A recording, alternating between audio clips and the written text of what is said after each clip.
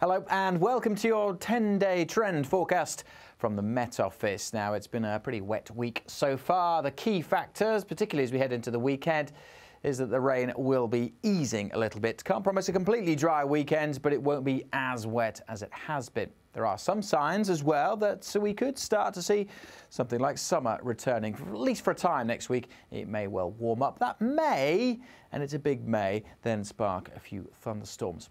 What's going on? Well, as usual, let's take a look at the big picture and particularly what's going on high up in the atmosphere with the jet stream. Now, this week the jet stream is unusually far south. Last week it was up over Iceland. That's why we had the hot spell because we were on the warm side of the jet. This week, well, we are definitely on that cool side of the jet. And when we get the position of the jet like this, a, a U shape or a trough as we call it, often in here, it's a breeding ground for low pressure systems. And that's what we've got. Slow moving low pressure systems sitting over us, bringing cloud and outbreaks of rain. Now, over the next couple of days, we'll start to see a shift in the jet stream. It changes pattern.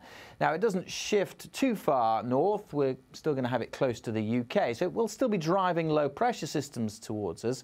But instead of sitting around, this is what we call a, a, more mobile setup. So the low pressure systems this weekend will tend to move through. There'll be some weather fronts, so yes, there'll be some rain, but it won't be as wet. There'll be drier, brighter spells as well.